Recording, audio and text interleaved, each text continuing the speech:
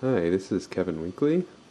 This, what I'm going to show you here is a schematic for a coil driver I was using to um, hopefully deliver varying amounts of power to some solenoid prototypes I was working on.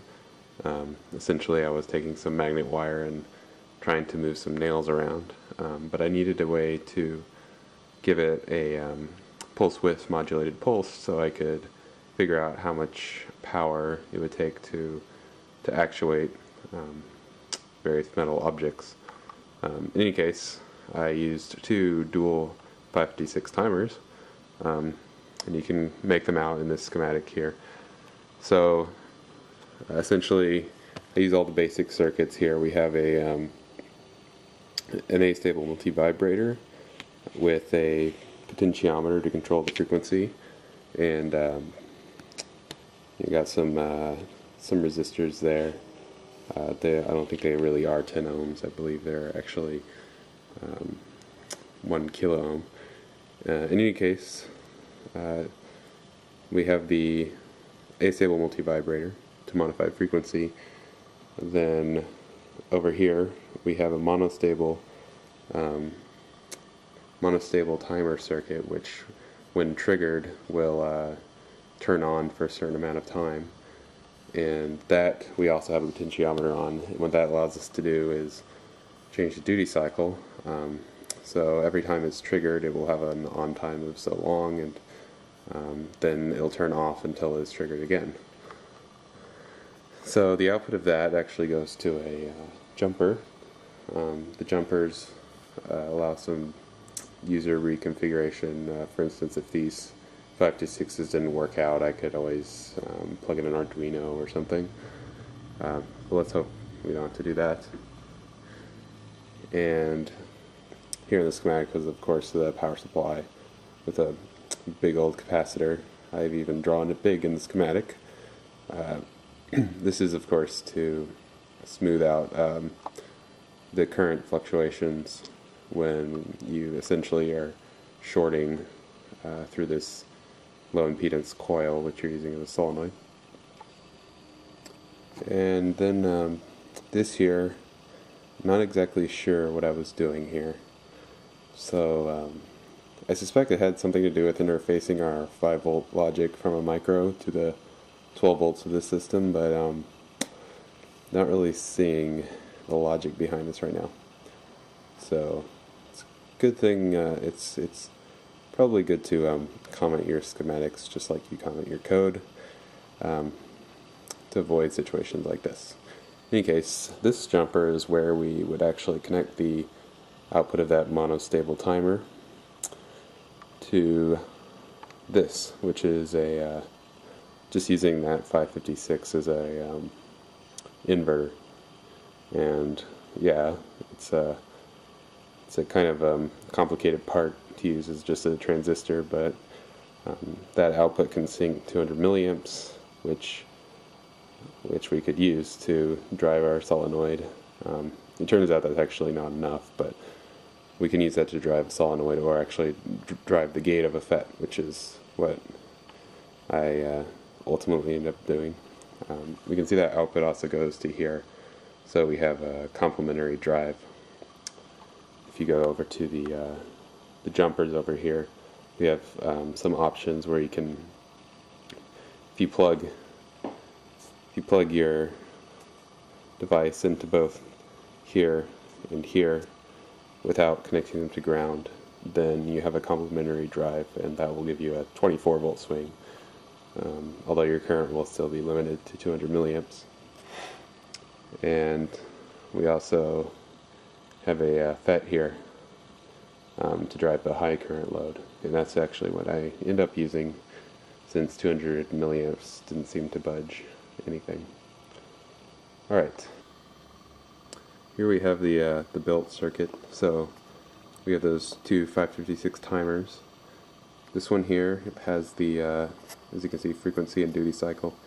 We have the astable multivibrator and the monostable timer, um, one-shot timer, which comprise this uh, variable frequency, variable duty cycle uh, frequency source.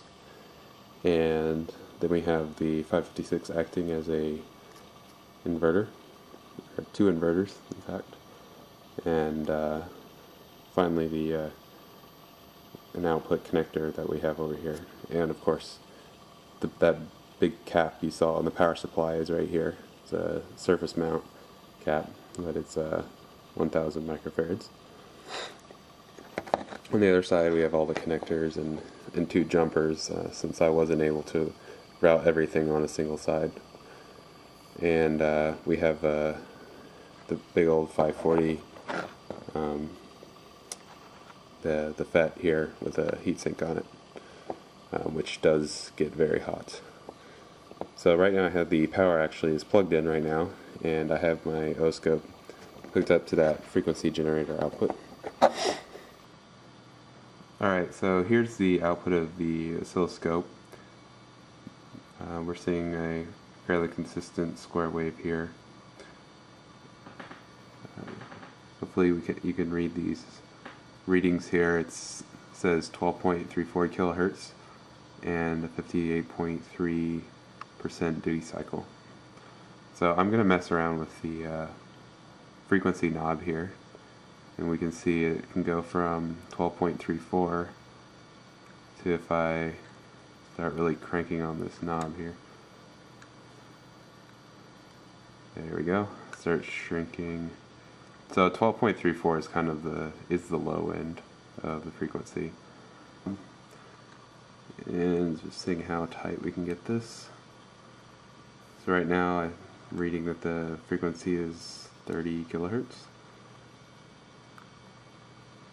And of course, because we're really messing with the period and um, we're looking at 1 over the period, then uh, the frequency really starts getting higher. Gets really high very fast. So I'm thinking I can hit 50 kilohertz here. Oh, okay. Okay, so we can see that chip is really struggling to keep up with that. Right now I'm at about uh, an average of about 47 kilohertz. It's not really staying very steady at this point. So you can see why I like to operate it on the low end around 12 kilohertz. Okay, so I have it connected up to a uh, just a standard DC motor right now, connected through the MOSFET port, and we have that jumper plugged in. Uh, as you saw from the schematic, you can um, disconnect the signal there. It's also nice uh, to manually disconnect the motor without disconnecting the power if you just want to probe the signals without the motor going all crazy. So actually one thing I didn't mention is uh, because of that inverter, uh, the inverter we used in the 555, the duty cycle is actually um, kind of 1 minus the actual duty, duty cycle. So right now the duty cycle is around 15% and it's not enough power to turn the motor. So I'm going to adjust that. Really, uh, of course, I learned how to turn it the right way. Okay, so you can hear it turning now. If I keep turning that knob, we can uh, juice that up.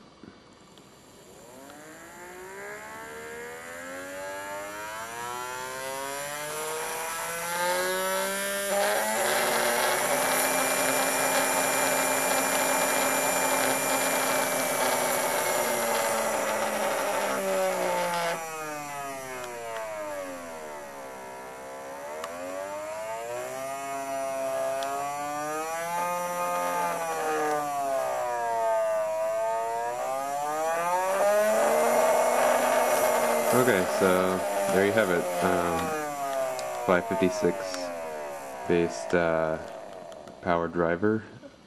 I'm sure there's many designs like this out there, but um, this one fits on a single-sided PCB, so um, that's cool, I guess. That's it. Uh, thanks for watching. Good luck. Whoa!